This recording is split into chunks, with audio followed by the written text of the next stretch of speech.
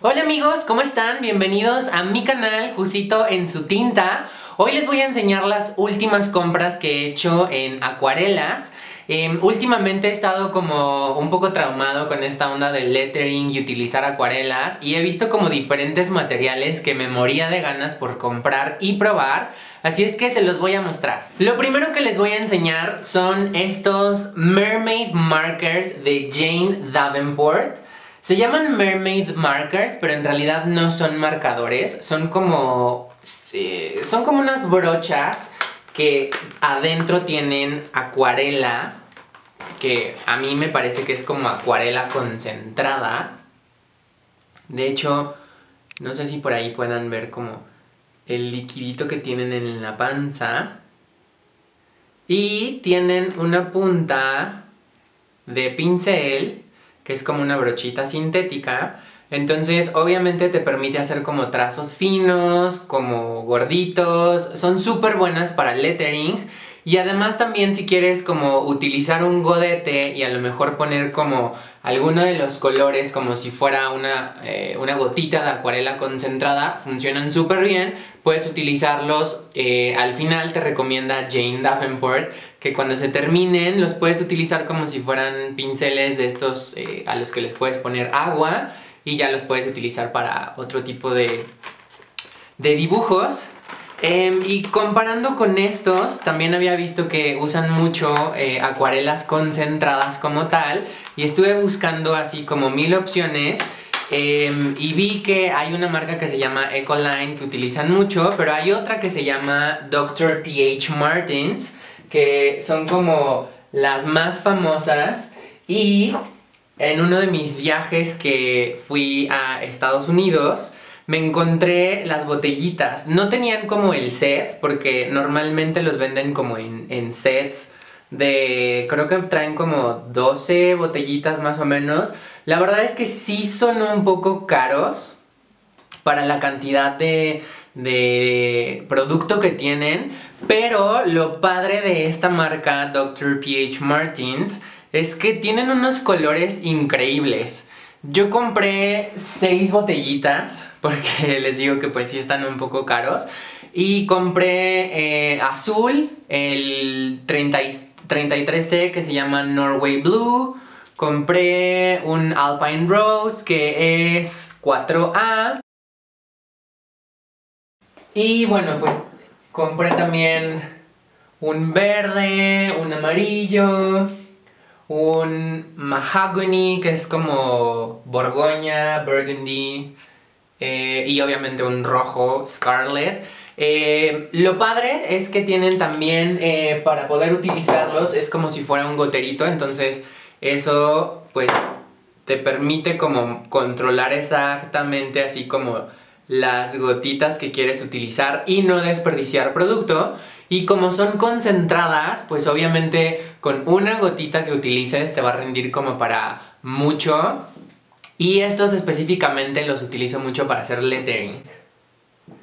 Em, otras acuarelas que compré son estas de Prima Marketing. Tenía ganas como de unas acuarelas metálicas de hecho, Jane Davenport también tiene algunos sets donde vende acuarelas metálicas, pero yo vi estas en unos reviews de internet y me gustaron mucho.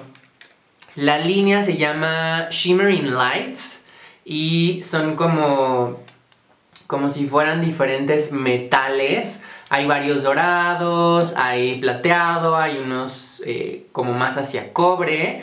Y la verdad es que también están como súper pigmentadas, funcionan bastante bien y para algunas composiciones de lettering o algunas ilustraciones a mí me gustan mucho.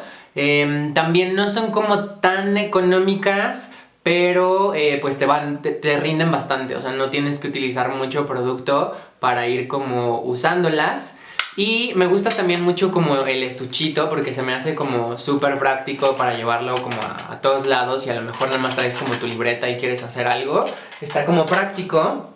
Y encontré que Jane Davenport, que es una de mis artistas favoritas, también tiene como varios sets de estos chiquitos de acuarelas. Y yo compré estas que son eh, colores brillantes. De hecho, Eh, todavía no, no las utilizo, están nuevecitas, ya les contaré qué tal funcionan, pero pues tengo muy buenas expectativas porque todos los materiales de Jane Davenport que he utilizado me han funcionado súper bien.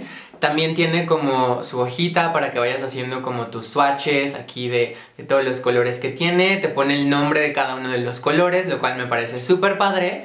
Y pues igual, el, el tamaño también está como súper práctico. Oigan, y por último, mis acuarelas favoritas son estas que se llaman Gansai Tambi. Son una marca japonesa. Ya saben que los japoneses hacen cosas increíbles en cuanto a materiales de arte, papelería, etc. Y había visto este, estas acuarelas igual como en varios reviews pero había encontrado como diferentes precios. Eh, los había visto en Amazon y estaban un poco más caras. Y por alguna razón entré a eBay y encontré como una oferta buenísima que fue así de necesito aprovecharla. Entonces las ordené a través de eBay. Y lo padre es que, bueno, igual tienen como la parte para hacer tus swatches, que yo todavía no los hago. Todo está en japonés y tiene números para ir como viendo qué colores cada uno. No entiendo cómo se llaman los colores, pero pues ya cuando ves las acuarelas te das una idea de más o menos qué colores son. Tiene aquí como un protectorcito. Em, y bueno, obviamente cada uno tiene como diferentes concentraciones. Aunque veamos aquí como, ah, trae un buen de rojos. No todos son rojos. Por ahí hay algunos que pintan como más hacia rosita.